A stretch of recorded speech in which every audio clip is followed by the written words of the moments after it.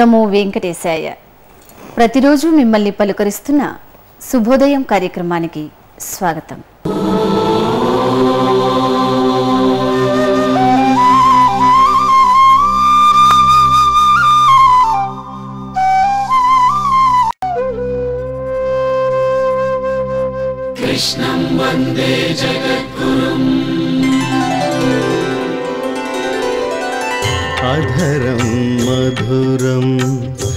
वदनं मधुरं नयनं मधुरं हसितं मधुरं हृदयं मधुरं गमनं मधुरं मधुराधिपते अखिलं मधुरं मधुराधिपते अखिलं मधुरम्।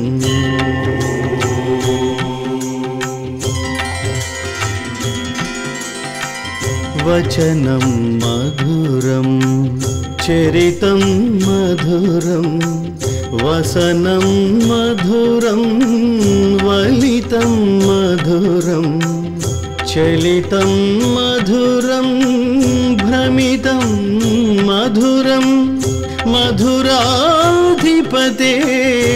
अखिलं मधुरम्। मधुराधिपते अखिलं मधुरम्।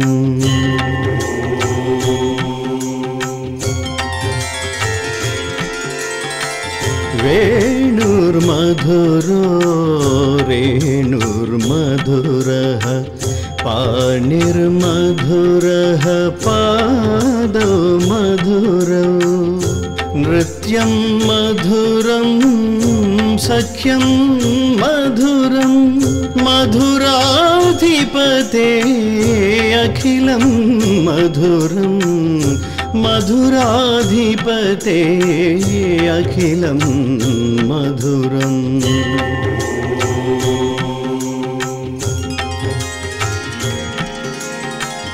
गीतं मधुरं पीतं मधुरम्।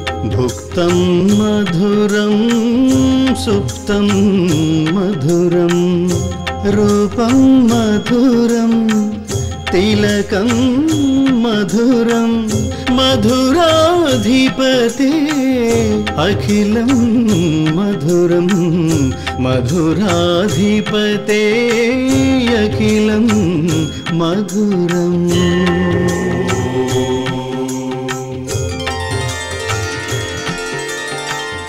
करण मधुर, तरण मधुर, हरण मधुर, रमण मधुर, वमित मधुर, शमित मधुर, मधुराधिपते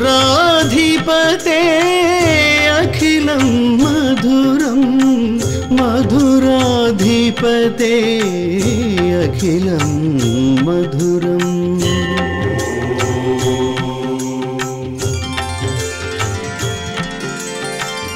गुञ्जा मधुरा माला मधुरा यमुना मधुरा वीची मधुरा सलिलं मधुरं कमलं मधुरं मधुरा പതേ അഖിലം മധുരം മധുരാധിപതേ അഖിലം മധുരം.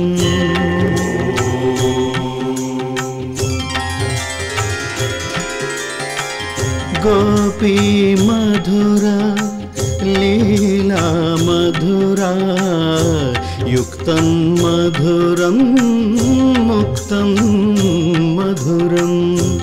दृष्टं मधुरं शिष्टं मधुरं मधुराधिपते अखिल मधुर मधुराधिपते अखिल मधुर।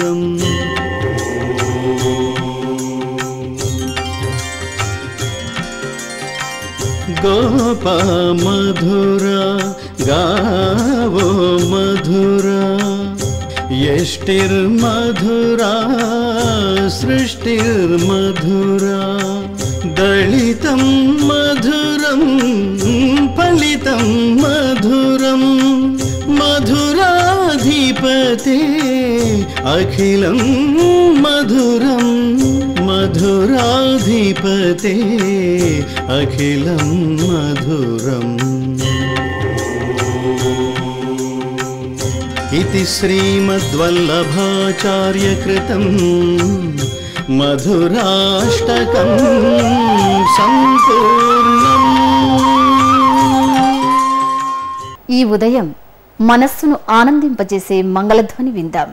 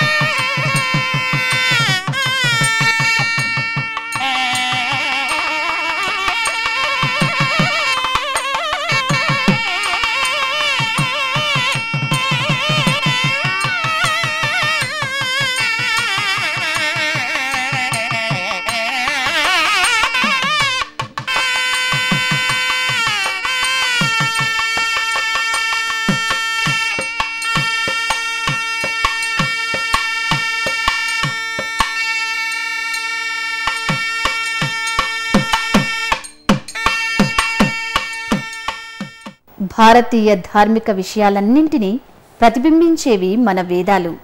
వేద పఠనం విందాం భగవంతుని అనుగ్రహాన్ని పొందుదాం.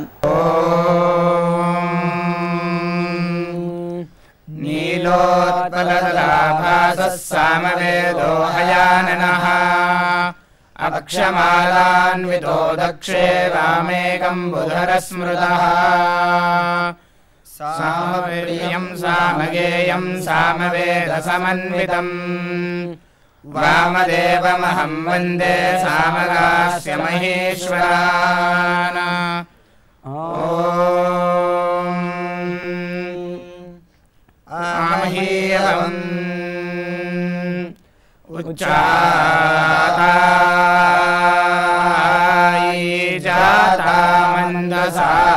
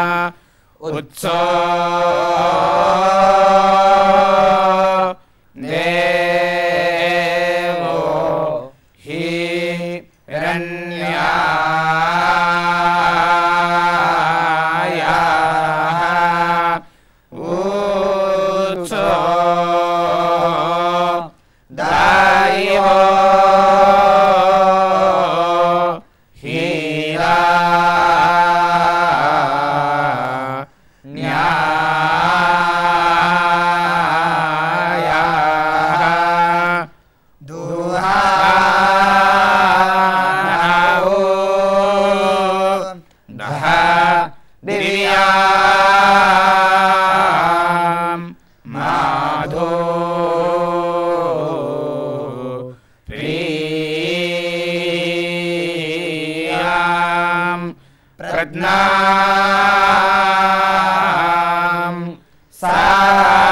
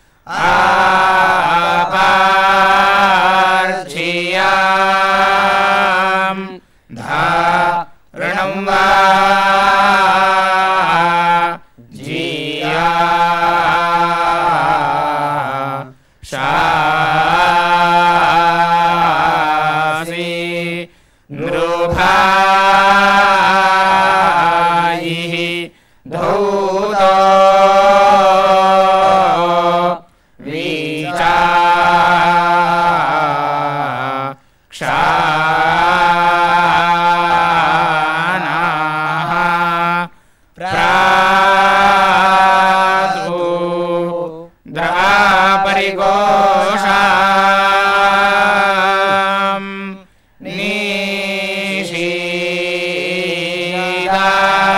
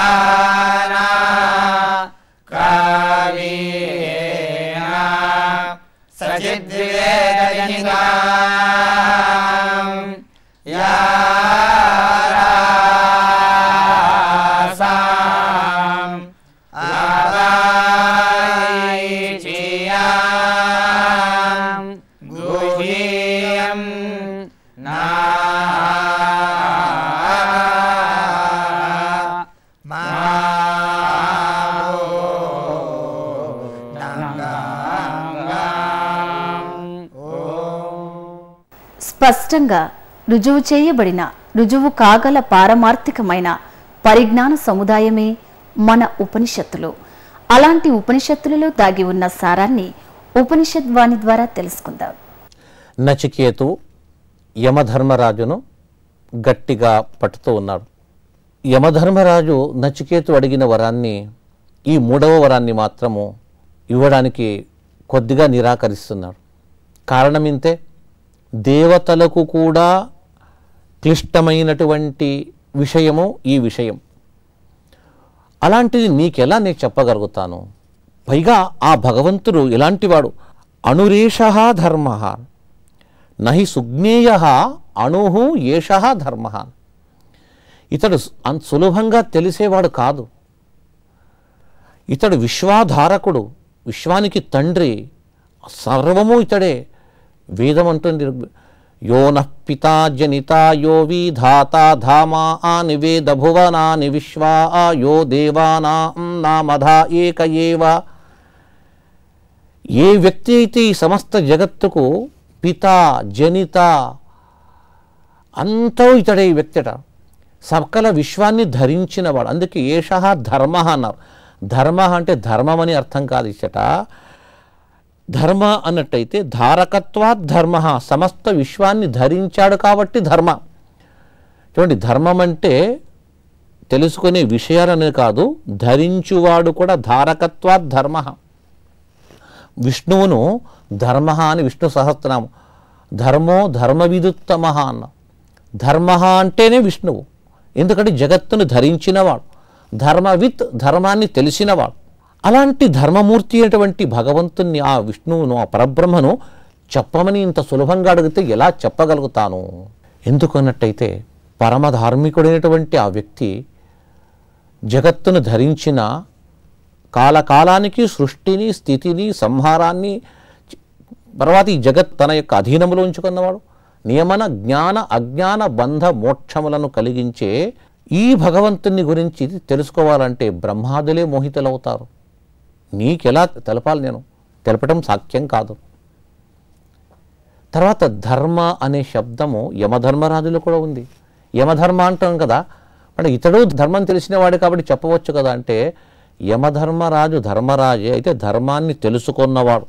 అయితే భగవంతుడు ధర్మశబ్ద వాచ్యుడు అంటే జగద్ధారకుడు కాబట్టి ధర్మవంతుడు. పరబ్రహ్మ ధర్మరాజే ఇతడు ధర్మరాజే ఇతడు ధర్మాన్ని తెలుసుకున్నవాడు ఆ పరబ్రహ్మ మాత్రము ధారకుడు అంటున్నాడు యమదూతల విష్ణుదూతల సంవాదం కలిగింది.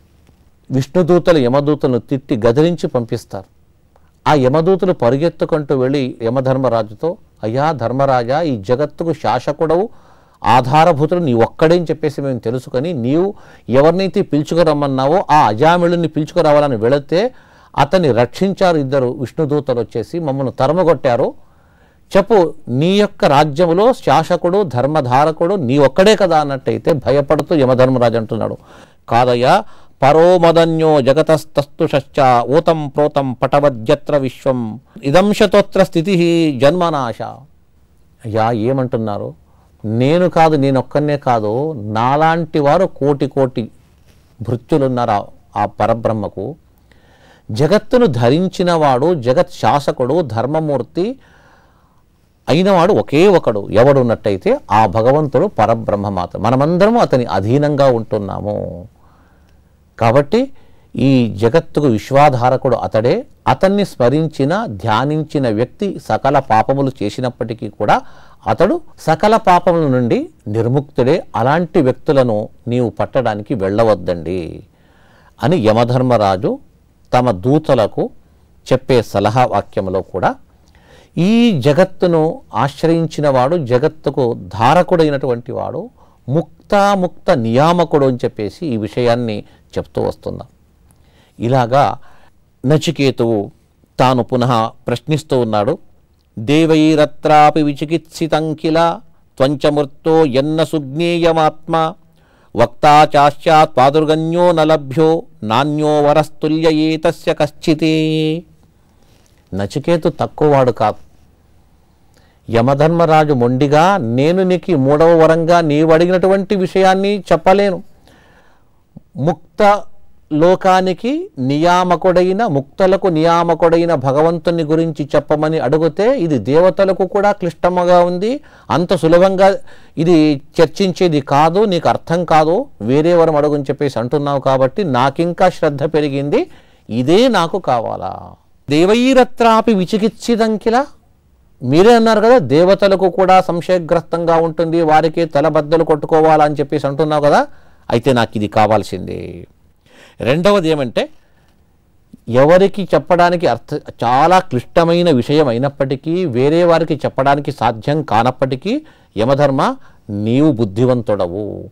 నీవు వివరించి చెప్పే శక్తి నాలాంటి అల్ప మేధస్సు వారికి కూడా చెప్పే శక్తి నీకు గలదు.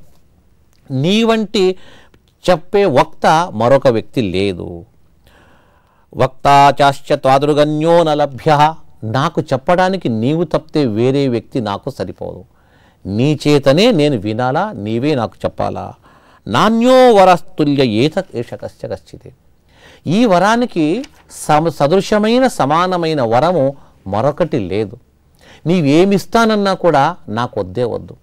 కారణం ఏమైనట్టయితే ఏ వరం అడిగానో ఆ వరములో ఏ భగవంతుని యొక్క అద్భుతమైనటువంటి మహిమ ఆ పరబ్రహ్మ తత్వము దాగి ఉందో ఏ వరాన్ని వింటే విన్నవారికి కూడా ఈ సంసార బంధము దాని నుంచి బయటికి వస్తారో అలాంటి అద్భుతమైన విషయాన్ని నేను వదిలిపెడతానా?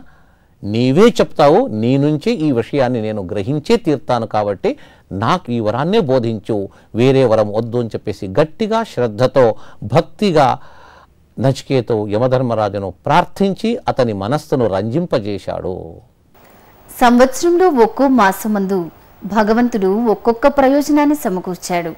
ఇప్పుడు మనం వైశాఖ మాసంలో ఉన్నాం కనుక వైశాఖ మాస వైశిష్ట్యాన్ని తెలుసుకుందాం.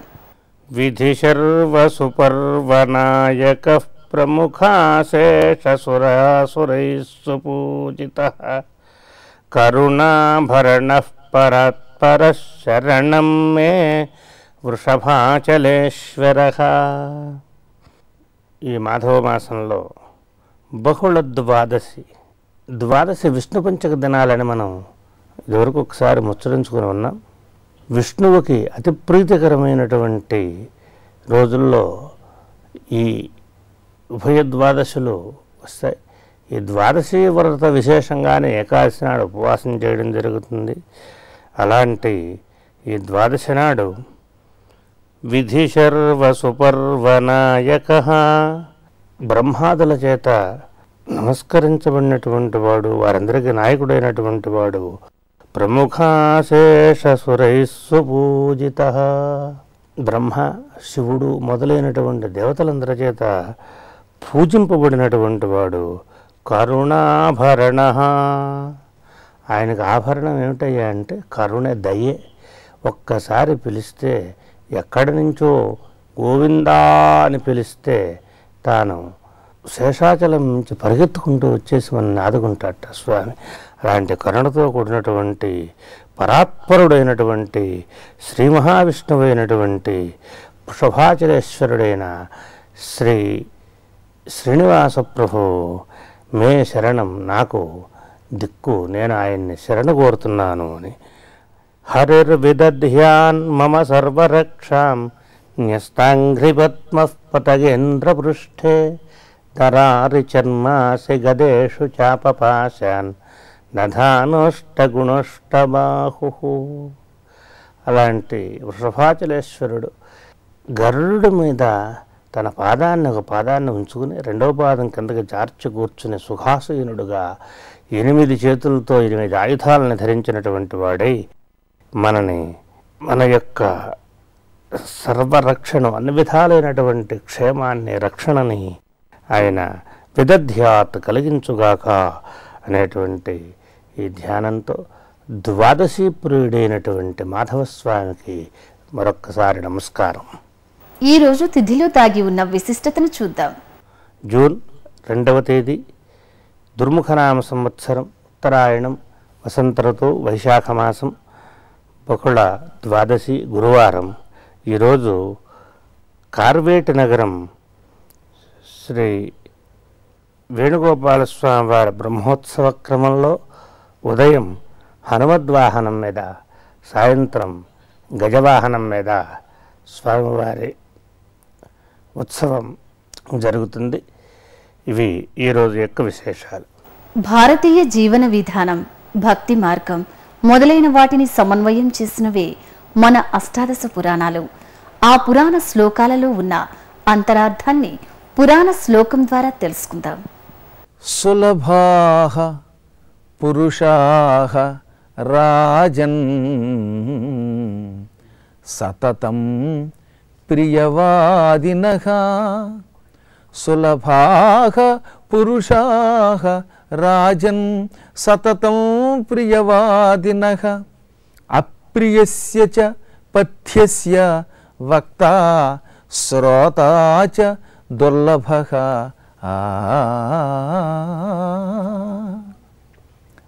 అసలు ఇతిహాసాలే చాలా గొప్పవి. ఇతిహాసం అంటే ఇతి హ ఆస. ఇది ఇట్లుండెను. అంటే ఉన్నది ఉన్నట్లుగా చెప్పబడితే అది ఇతిహాసం అంటారు. రామాయణం ఇతిహాసం. ఎక్కడ వాల్మీకి కల్పించకుండా ఉన్నదొన్నట్టుగా ఆనాడు జరిగిన కథ రాశాడు. మహాభారతం ఇతిహాసం. ఉన్నదొన్నట్లుగా రాశాడు వ్యాసుడు. అటువంటి ఇతిహాసాలు ఎప్పుడు అపూర్వమైన సందేశాలు మనకి ఇస్తూ ఉంటాయి. ఇప్పుడు నేను చదివిన శ్లోకం శ్రీమద్ రామాయణంలో వాల్మీకి రాసిన రామాయణంలో అరణ్యకాండలోని శ్లోకం ఇది. రావణాసురుడు శూర్పణఖ ద్వారా సీతాదేవి గురించి విన్నాడు. శూర్పణఖ రావణుని నాశనం చేయడానికి అన్నట్టుగా పుట్టింది రథం చెప్పాలంటే. ముక్కు చెవులు తెగ్గానే నోటికొచ్చినట్ల రా- రావణాసుడి దగ్గరికి వెళ్ళి కూసింది. ఆవిడ ఏమందో తెలుసా? రావణ ఎంతో సౌందర్యవతి సీత ఆ సీతని మోసగాడు రాముడు ఎత్తుకొచ్చాడు. నీ కోసం సీతను తీసుకొద్దామని రాముడి దగ్గరికి వెడితే నా ముక్కు చెవులు కోసి పంపాడు. నీకు బుద్ధి ఉందా లేదా వెళ్ళి ఆ సీతను ఎత్తు ఎత్తుకు తీసుకొచ్చి పెళ్ళి చేసుకో అంది. వీడు జరిగింది ఏమిటో తెలియక సీతా వ్యామోహంలో పడిపోయాడు.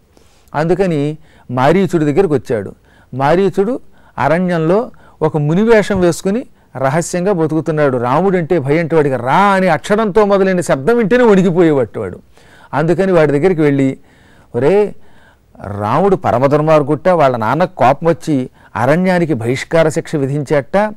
అందువల్ల నేను రాముణ్ణి మోసగించి సీతని ఎత్తుకొద్దాం అనుకుంటున్నాను. నీ అభిప్రాయం ఏమిటంటే రాజా ఒక విషయం చెబుతున్నాను శ్రద్ధగా విను. సులభాహ పురుషాహ రాజన్ సతతం ప్రియవాదిన. ఓ మహారాజా లోకంలో ఎక్కువ మంది ప్రేమగా ముఖస్థుతి మాటలు మాట్లాడతాడు. ఎక్కువ మంది ఏం చేస్తారో తెలుసా? ఎదురుగుండా వ్యక్తి కనపడగానే అమ్మ బాబాయ్ మీరు దేవుడండి మీరు మహాత్ములండి మీ అంత గొప్పవాళ్ళు లేరండి మీరు పండితులండి మీరు ధనవంతులండి త్యాగశీలురండి వీడు ఎవరికి రూపాయి ఒప్పైనా సరే బలి చక్రవర్తి అంటే మీరేనండి అని వీడిని పొగిడి వీడిని బలి చేస్తారు. ప్రియవాదిన అంటే ముఖస్థుతి మాటలు చెప్పేవారు సులభాహ. ఎక్కువ మంది ఉంటారు తేలిగ్గా ఉంటారు. లోకంలో ఎక్కువ మంది ఏం చేస్తారు? అనవసరంగా వాడి ఎదురుగుండా వాడి గురించి చెప్తే వాడు తంతాడు. అంతకంటే పొగిడితే సుఖం కదా అని కనబడగానే నీ అంత మంచివాడు లేడని పొగుడుతారు. కానీ ఆ పొగిడేవాడు మనకి ఎప్పుడూ శత్రువు. మనలో ఉన్న లోపం చెప్పేవాడే నిజమైన మిత్రువు అంటే. అలా చెప్పేవాడు చాలా కష్టమని చెప్పాడు ఈ రెండో పాదంలో. అప్రియస్యచ పథ్యస్య వక్త శ్రోతాచ దుర్లభ ఇదిగో హితం చెప్పేవాడు. హితం చెప్పేటప్పుడు ఒక్కోసారి ఎలా ఉంటుంది? ఒక వ్యక్తికి కంఠం బాలేదు వాడు ఏం చెప్పినా ఎవరికి అర్థం కాలేదు అనుకోండి. అటువంటి వాడి దగ్గరికి వెళ్ళి నువ్వు పలికే పలుకుల్లో స్పష్టత లేదు కొంచెం స్పష్టంగా చెప్పు అని చెప్పాడంటే అది వాడికి నచ్చదు. అది అప్రియం ప్రీతి కలిగించదు. పొరపాటు వస్తే పొరపాటు అని చెప్పేవాడు చాలా తక్కువగా ఉంటారు. మహారాజా వీళ్ళ వల్ల నీకు ప్రమాదం. ముఖస్థుతి చేసేవాడు ఎప్పుడు నీకు ప్రమాదమే తెచ్చిపెడతాడు. అదే నీకు ఇష్టము లేకపోయినా నీలో ఉన్న లోపాన్ని చెప్పి మేలుకోరేవాడు లోపాన్ని చెబుతాడు. ఆ లోపాన్ని అందరి ఎదురుగుండా చెప్పకూడదు విడిగా చెప్పాలి. నేను నువ్వు మాత్రమే ఉన్నాం కనుక మనిద్దరమే ఉన్నాం కనుక నీకు నేను ధర్మం చెబుతున్నాను. ఈ ధర్మం నీకు నచ్చినా నచ్చకపోయినా నీకు ఇది ఇష్టం కలిగించకపోయినా నిజం చెబుతున్నాను రాముడి తోలికెడితే నువ్వు నశించిపోతావు అని చెప్పేశాడు. అది వెనకవాడు నశించాడు అది వేరే విషయం. కానీ ఈ శ్లోకం మన అందరికీ నిత్యం పనికొస్తుంది. ఎక్కువ మంది మన ద్వారా పనులు చేయించుకోవడానికి మనల్ని పొగిడి మనలో ఉన్న లోపాలు చెప్పకుండా వెళ్ళిపోతారు. మనం ఆ పొగడ్తలకి లొంగి మనలో ఉన్న లోపాలు గ్రహించక మనం మహాత్ములం అనుకుంటే పతన వెడతాం. నిజమైన హితం కలిగించేవాడు మనలో ఉన్న లోపాన్ని సున్నితముగా ఏకాంతంగా చెప్పి మనల్ని బాగు చేస్తాడు. అందువల్ల ఈ శ్లోక సారాంశం ఏమిటనమాట? ముఖస్థుతి చేసేవాడు చాలా చోట్ల ఉంటారు రాజా. కానీ నీకు ప్రీతి లేకపోయినా ఉన్నది ఉన్నట్టుగా చెప్పేవాడు ఉండడు. వక్త అంటే చెప్పేవాడు ఉండడు. ఒకవేళ వక్త చెప్పినా శ్రోతాచ దుర్లభ వినేవాడు అసలు విండు. ఏయ్ నాలో లోపం ఉందంటావా? నువ్వు పాపాత్ముడు అని తిడతాడు. కాబట్టి చెప్పే వక్త ఉండడు వినే శ్రోత ఉండడు. ఇది దృష్టిలో పెట్టుకోవాలి మనం. కాబట్టి వక్తని మనం ఆహ్వానిద్దాం. విందాం. లోపం ఉంటే సరిదిద్దుకుందాం. అనవసరంగా వాడు తిడితే మాత్రం దానికి లొంగకుండా ఉందాం అని ఈ శ్లోకం మనకి గొప్ప హితం చెప్పింది. ఇంకొకసారి శ్లోకం చెప్పుకుందాం. సులభాహ పురుషాహ రాజన్ సతతం ప్రియవాదిన. అప్రియస్య చ పథ్యస్య వక్త శ్రోతా చ దుర్లభ. వైశాఖ మాసానికి ఉన్న మరో పేరు మాధవ మాసం. మాధవుడైన నారాయణునికి ప్రీతిపాత్రమైన వైశాఖ మాసంలో ఆ మాధవుని వైభవాన్ని కొంత తెలుసుకుందాం. నారాయణం నమస్కృత్య నరంచైవ నరోత్తమం దేవీం సరస్వతీం వ్యాసం తతో జయముదీరయేత్. అంబరీష్ చక్రవర్తి నారద మహర్షి ద్వారా వైశాఖ పురాణాన్ని వింటూ ఉన్నారు. అందులో శృతదేవుడు శృతకీర్తి మహారాజుకి ఎన్నో సత్యాలను వైశాఖ మాస మాహాత్మ్యము ద్వారా వినిపిస్తూ ఉన్నాడు. ప్రసక్తానుప్రసక్తంగా ఈ యొక్క యుగాలలో జన్మించేటువంటి యొక్క సృష్టి యొక్క వైభవాన్ని కూడా వినాలి అని అనుకున్నాడు. వైశాఖ మాస మాహాత్మ్యాన్ని వింటూ స్వామి అసలు ఈ యుగాలు ఎప్పటి నుంచి ఆవిర్భవించాయి? వీటిని నడిపించేటువంటి సృష్టి యొక్క ధర్మం ఎలా ఉంటుంది? అని అంటే పరమాత్మ అయినటువంటి వాసుదేవుడు ఈ సృష్టిని సృజించడానికి మూడు గుణాలను ఆయన ప్రధానంగా ఎంచుకున్నాడు. ఒకటి సత్వము ఒకటి రజస్సు ఒకటి తమస్సు. జీవులు వారి వారి కర్మానుసారం ఈ గుణాలను పొందుతూ ఉంటారు. సత్వగుణంతో ఉండేటువంటి వాళ్ళు ఎప్పుడూ మంచి కార్యక్రమాలు చేస్తూ ఉంటారు. విష్ణు భక్తులై ఉంటారు.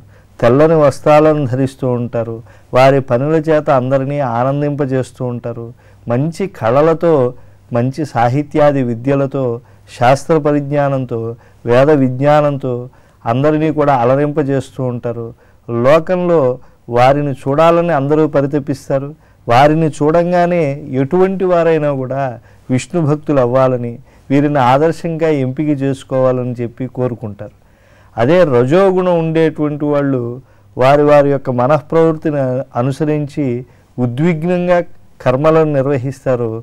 కేవలం పాపములు ఎక్కువగా చేసినటువంటి వాళ్ళు పాప ఫలితాన్ని అనుభవిస్తూ ఉంటారు. అలాగే ఎక్కువ పుణ్యములు చేసినటువంటి వాళ్ళు పుణ్య ఫలితములను అనుభవిస్తూ ఉంటారు. వీరు స్వర్గ నరకాదులను పొందుతూ ఉంటారు. అలాగే తమోగుణ సంపన్నులై ఉంటారు. కేవలము భోగాసక్తి ఎందు ఉండి విష్ణుదేవుని ఎందు అనాసక్తి ఉండి ప్రతి ఒక్క ధార్మిక వాక్యమునకు కూడా ప్రతివాక్యము పలకాలి అనేటువంటి తలంపుతో ఉండి ఎప్పుడూ అధికమైన నిద్రతో ఎక్కువ అధికమైనటువంటి కోపంతో ఎక్కువ హింసా ప్రవృత్తితో వాళ్ళ జీవనాన్ని గడుపుతూ ఉంటారు. వీళ్ళు పిశాచాది నీచమైనటువంటి జన్మలు పొంది దుఃఖాన్ని అనుభవిస్తూనే ఉంటారు అని చెప్పగానే స్వామి పరమేశ్వరుడి యొక్క సృష్టిలో అందరూ సత్వగుణంగానే ఉండవచ్చు కదా? ఈ తమోగుణంగా రజోగుణంగా ఉండటం ఎందుకు? కేవలం శుద్ధసత్వమయమైనటువంటి సృష్టిని ఆయన సృజించకూడదా? అలాంటి లక్షణాలనే వారిని ఇవ్వకూడదా అని అంటే ప్రకృతిలో ఉండేటువంటి లక్షణాలను జీవుడు అన్వయించుకోవాలని లేదు. వాడి వాడి కర్మానుసారము వాడి యొక్క చిత్తవృత్తి నడిపిస్తూ ఉంటుంది. అంతకుముందు చిత్తవృత్తిని అనుసరించి కర్మ ఆధాయపడి ఉంటుంది.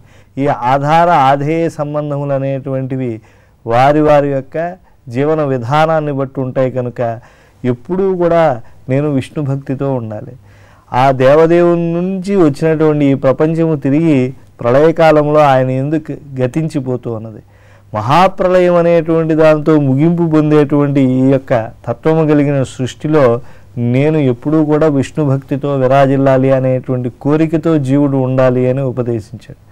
అలా కాదు స్వామి నా ప్రశ్నను కొంచెం వినండి అని అన్నారు ఆ శృతదేవ మహారాజు. అసలు ఈ సృష్టిలో అందరినీ కూడా ఆయన సాత్వికంగానే ఉంచవచ్చు కదా అని అంటే నాయన ఒక తోటమాలి అనేకమైనటువంటి ఫలాలను పండించడం కోసం విత్తనాలను వేస్తాడు. కొన్ని అధికమైనటువంటి ఫలాలను ఇస్తాయి కొన్ని మధ్యమంగా ఇస్తాయి కొన్ని కేవలం ఒట్టిపోయినటువంటి వృక్షాలుగా ఉంటాయి. ఇందుకు రెండు కారణాలు. ఒకటి ఆ వృక్షం యొక్క చేవను బట్టి ఉంటుంది. రెండోది ఆ వృక్షము అలా అవటానికి ఆ విత్తనము కారణము అనేటువంటి భావముతో ఉండేటువంటి మనం క్షేత్రం యొక్క తత్వాన్ని కూడా మనం పరిగణలోకి తీసుకోవాలి. ఎందుకంటే అతను ఆ కులంలో పుట్టాడు లేదా ఆ యొక్క వ్యవహారంలో ఆయన ఉన్నప్పటికీ కూడా ఆయన చాలా గొప్పవాడయ్యాడు అని కాను అంత ఉత్తమమైనటువంటి చోట ఉండి కానీ కూడా ఆయన అటువంటి స్థితిలో ఉన్నాడని కానీ మనం అనుకున్నప్పుడు ఆ యొక్క కులతత్వం కానీ ఆ యొక్క ప్రాంతీయతత్వం కానీ ఆయన యొక్క ఆచార వ్యవహారాలు కానీ ఇవేమీ బంధించేటువంటివిగా ఉండవు. కర్మను అనుసరించి అవి వచ్చేటువంటివి. దైవాయత్తం కులే జన్మ పౌరుషం అంటారు. కనుక అతనికి ఉండేటువంటి ఆ పౌరుషం చేత అతను గొప్ప ఫలాలను పొందవచ్చు. సూర్యకిరణాలు అన్ని పూలపైన సమంగా ప్రసరిస్తుంది. కానీ కొన్ని వికసిస్తాయి కొన్ని మొగ్గగా ఉంటాయి కొన్ని అసలు అవి వికసించడానికి అనర్హమై వడిలి రాలిపోతాయి. కొన్ని ఆకులు చాటు నుండి వాటి యొక్క తత్వాన్నే అవి ప్రకటించుకోలేకపోతాయి. కనుక సూర్యకాంతిలో ఏ లోపం లేదు. అలాగే తోటమాలి యొక్క పెంపకంలోనూ ఎటువంటి లోపం లేదు. కనుక పరాత్పరుడైనటువంటి నారాయణుడు సూర్యుడైతే తోటమాలి మరి బ్రహ్మగారైతే అయితే ఫలించినటువంటి ఈ యొక్క వృక్ష సంపద అంతా జీవులైతే వీరి కర్మము వీరి యొక్క క్షేత్ర ప్రభావం అనేటువంటిది మూలం అవుతుంది నాయన అని ఉపదేశించి ఈ రజస్తమో గుణాలతో నిండినటువంటి సృష్టిలో ఎవరు సదా విష్ణు భక్తులై ఉంటారు. ఎవరు ఎల్లవేళలా మనస్సుని భాగవతానురక్తితో నింపుకుంటారో. ఎవరు ఎప్పుడూ కూడా ధర్మ విరుద్ధమైనటువంటి పనుల పట్ల ఆసక్తి లేకుండా ధర్మచింతనతో ఉంటారో. వారందరూ కూడా అభ్యుదయ పథంలో నడుస్తారు అని చెప్పి చెప్పారు.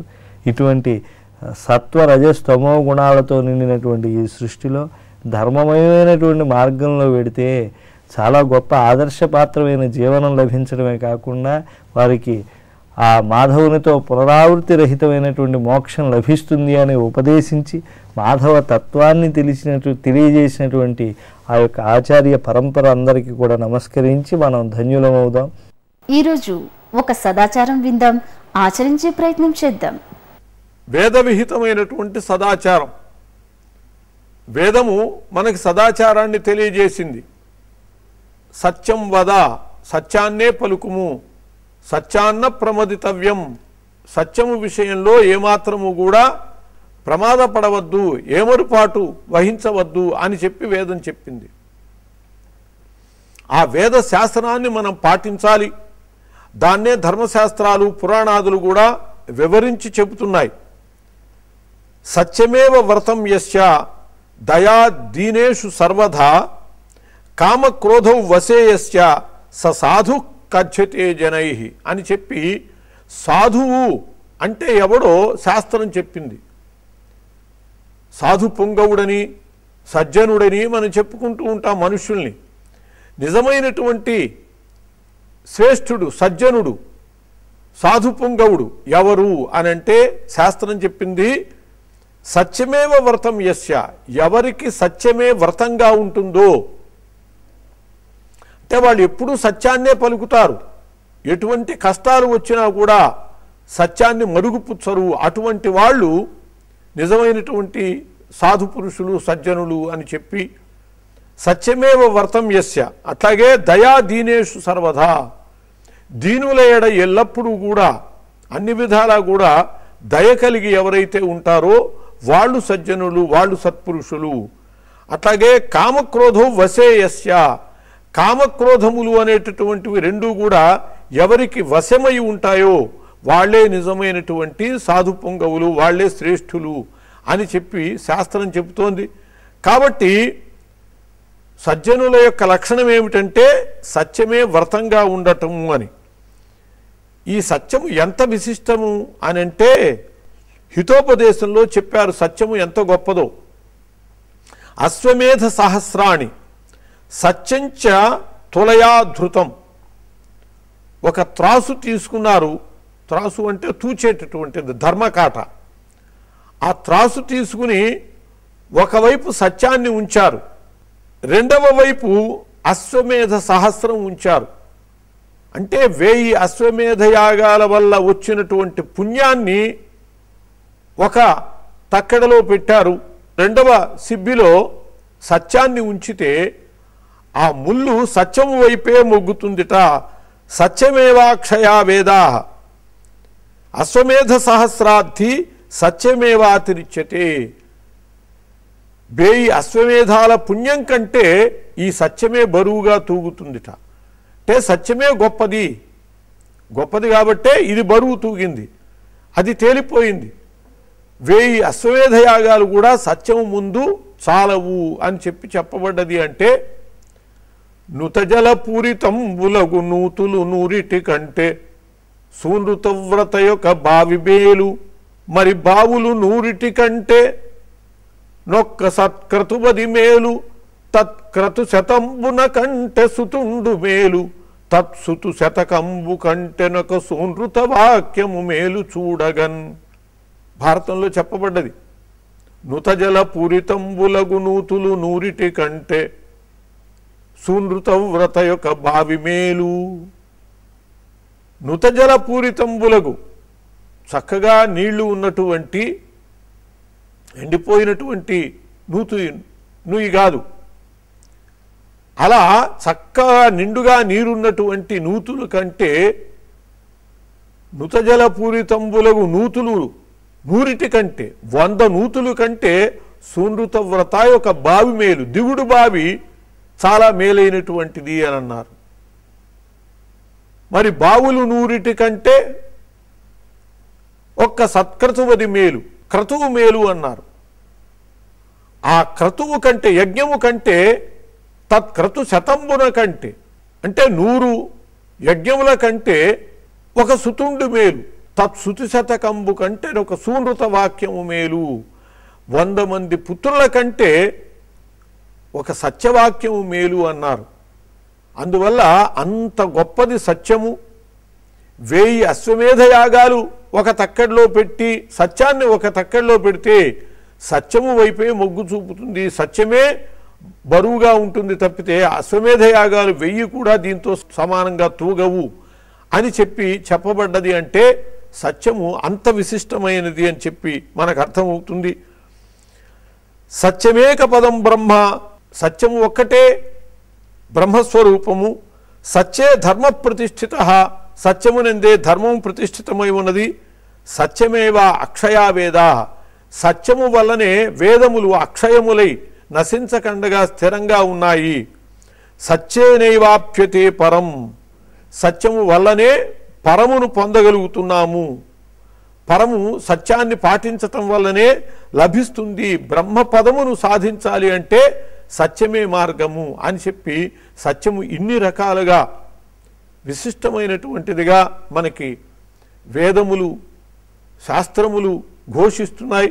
అందువల్ల వేదము చెప్పినటువంటి సత్యం వద సత్యాన్న ప్రమదితవ్యం అనే సదాచార వాక్యాల్ని మనం పాటించి సత్యాన్నే పలకటానికి ప్రయత్నం చేయాలి. స్వస్తి. తేనెలలకు తెలుగు పద్యాలలో ఒక పద్యాన్ని విందాం. అందులోని భావాన్ని గ్రహిద్దాం. మకరముఖాంతరస్థమగు మాణికమున్ పెకలింపవచ్చు పాయక చలదూర్మికానికరమైన మహోదధి దాటవచ్చు. మస్తకమున పువ్వు దండవలే మస్తకమున పువ్వు దండవలె సర్పమునైన భరించవచ్చు. మచ్చిక ఘటించి మూర్ఖ జన సాధ్యమేరికిన్. మహాకవి భర్తృహరి రచించినటువంటి నీతి శతకానికి తెలుగు అనువాదం చేసినటువంటి మహానుభావులు ఏనుగు లక్ష్మణ కవి తేట తెలుగులో రచించినటువంటి ఈ పద్యాన్ని అవలోకిద్దాం. మూర్ఖుడు ఎలా ఉంటాడు అనేదాన్ని గూర్చి ఈయన చెబుతూ ఉన్నారు. మకరము కాంతరస్థమగు మాణికమును పెకలించవచ్చు. మూర్ఖుడు ఇలా ఉంటాడు అని చెప్పడానికి ఎప్పటికీ సాధ్యం కాదు. పోనీ మూర్ఖుణ్ణి మంచిగా మార్చడానికి సాధ్యం కాదు. ఎందుకంటే వాడు మూర్ఖుడు కాబట్టి. దానికంటే ఇంకేది మేలంటాడంటే మకర ముఖాంతరస్థమగు మాణికమును మాణిక్యం మొసలి నోట్లో ఉంది. మొసలి నోట్లో చేయిబెట్టి దాని నోట్లో ఉన్నటువంటి మాణిక్యాన్ని తీసుకోవచ్చు. నిజానికి నోట్లో చేయిబెడితే మొసలి ఊరికే ఉంటుందా? ఉండదు. అది కష్టమైనటువంటి పని. అంత కష్టాన్నైనా భరించవచ్చు. తరువాత పాయక చలదూర్మిక నికరమైన మహోదది. మహాసముద్రం ఎలా ఉంది? విపరీతమైనటువంటి అలలతో అల్లకల్లోలంగా ఉన్నటువంటి చెలిస్తూ ఉన్నటువంటి అలలు కలిగినటువంటి సముద్రాన్నైనా దాటచ్చు. ఇది కష్టమే అయినా చేయొచ్చు. మస్తకమున పువ్వు దండవలే సర్పమునైన భరించవచ్చు. తల్లో పూలదండ ఎలా పెట్టుకుంటారో ఆ విధంగా ఒక విష సర్పాన్ని పెట్టుకోవచ్చు. ఇవన్నీ చేయొచ్చు. కానీ మూర్ఖునితో స్నేహం చేసి వాని యొక్క మనసును తెలుసుకొని దాన్ని మార్చి వానికి బుద్ధి చెప్పడం అసాధ్యమైనటువంటి పని అని చెప్పంటారు. ఎందుకంటే తాను పట్టినటువంటి కు- కుందేటికి మూడే కాళ్ళు అనేటువంటి రకం మూర్ఖుడు. అతని చేతిలో ఇంకో కాలు ఉంటుంది. ఒక కాలు పట్టుకున్నాడు. నా నాలుగు కాళ్ళలో ఒక కాలు పట్టుకున్నాడు. లెక్క పెడతాడు. ఒకటి రెండు మూడు అంటాడు. అయ్యా నాలుగో కాలు నీ చేతిలో ఉంది అని అంటే ఒప్పుకోడు. "ఆ, నేను పట్టిన కుందేటికి మూడే కాళ్ళు అని అంటాడు. ఇటువంటి వాళ్ళు చాలా భయంకరమైనటువంటి వాళ్ళు. వీళ్ళతో స్నేహం చాలా కష్టం. వీళ్ళను మార్చడం కూడా కష్టం. మార్చాలనుకోవడం కూడా చాలా కష్టమైనటువంటి పని. అట్లాంటి పనికి పూనుకోకూడదు అంటాడు. దానికంటే సముద్రాన్ని ఈదచ్చు మకరి నోట్లో ఉన్నటువంటి మాణిక్యాన్ని తీసుకోవచ్చు పూలదండలాగా సర్పాన్ని ధరించవచ్చు కానీ మూర్ఖుల జోలికి వెళ్ళకూడదు అని అంటారు. మూర్ఖుని చూడరాదు. మరి మూర్ఖుని చూడక తప్పదేని? మూర్ఖుని తోడ భాషణము పూర్తి నిషిద్ధము అని చెప్పన్నాడు అసలు మూర్ఖుణ్ణే చూడకూడదు. ఒకవేళ చూడాల్సి వచ్చినా అతనితో మాట్లాడకూడదు. ఒకవేళ మాట్లాడాల్సి వచ్చినా మూర్ఖుడిలాగే మాట్లాడాలి అని అంటారు పెద్దలు. ఎందుకు అంటే మనం ఏం మాట్లాడినా మూర్ఖుడు ఏం చేస్తాడంటే వాని బుద్ధి స్థాయిలో నుంచి మనల్ని అంచనా వేసి మనల్ని కూడా వానికంటే తక్కువ వానిగా పరిగణిస్తాడే తప్ప అతన్ని దిద్దుకోవాలని అనుకోడు. అందుకే మూర్ఖులకు ఎట్టి పరిస్థితుల్లోనూ ఏమీ బోధించడానికి కుదరదు అని చెప్పి అంటారు. అందుకని మనం మూర్ఖుల్ని మార్చాలి అనేటువంటి ప్రయత్నాన్ని మానుకొని మనం మూర్ఖుల జోలికి వెళ్ళకుండా మన కాలాన్ని వృధా చేసుకోకుండా చాలా జాగ్రత్తగా మూర్ఖులకు దూరంగా ఉండాలి అని ఈ పద్యంలో చాలా చక్కగా కవిగారు ప్రబోధించారు. దీన్ని ఆచరించి మనం ఆనందాన్ని అనుభవిద్దాం. మనస్సును ఆహ్లాదపరిచే శక్తి సంగీతానికి ఉందనడంలో అతిశయోక్తి లేదు. అందుకే ఈ ఉదయం మంచి కీర్తన విందాం. ఆనందంగా ఉందాం. वदन ज्योति जित सोम वसुध मानस काम। वदन ज्योति जित सोम वसुध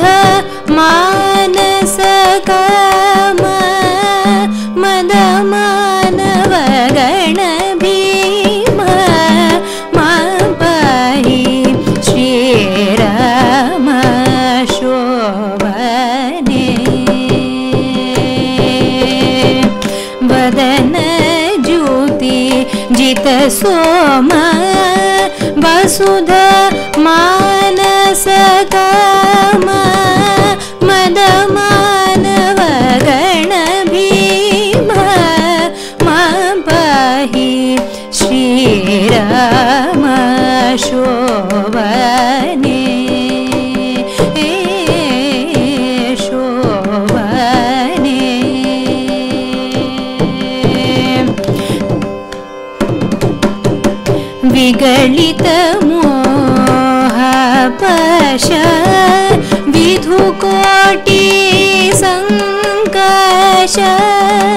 विगळि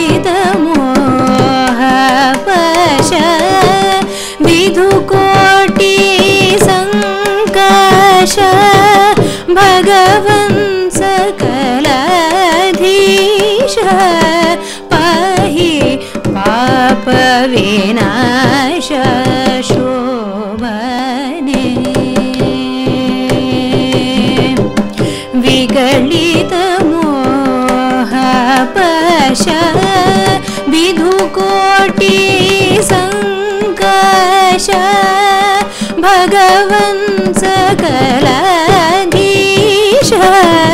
पाहि पापविनाश शोभने। एशोभने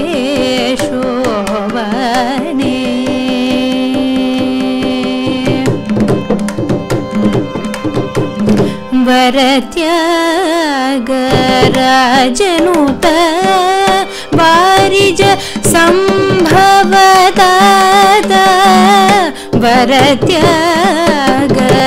वरत्यागराजनुत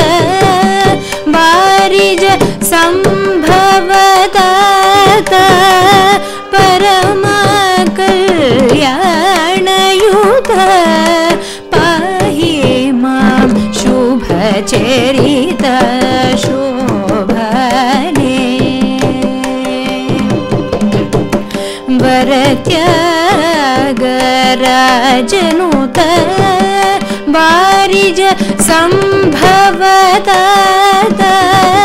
परमकल्याणयुत क्र्यानयुत पहि मा शुभ शुभ